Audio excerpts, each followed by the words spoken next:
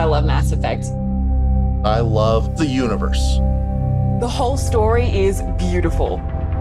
I love the aggressive playstyle of being able to jump in and go and then I still have vivid memories of trembling, shaking, worried about whether or not I was going to get everybody out alive. Mass Effect left such an impression on me that I'll never shake it. It's my favorite game series of all time. Mass Effect is one of my favorite things in the whole world, so I got a whole sleeve of it. Oh, I have a lot of Mass Effect tattoos.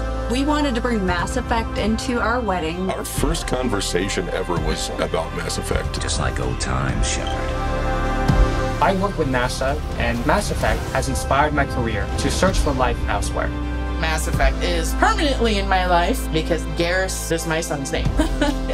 Garrus. Shepard. Shepard que trata de unirlos a todos con un mensaje de esperanza. My Shepard does not punch reporters. I've always punched a reporter. I've had enough of your snide insinuations.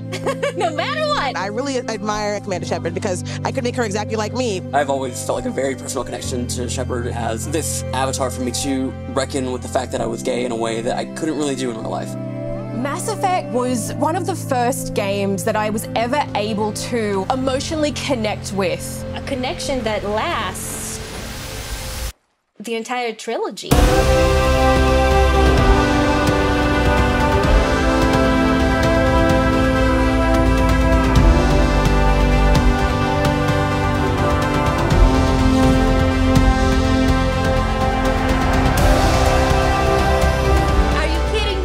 Oh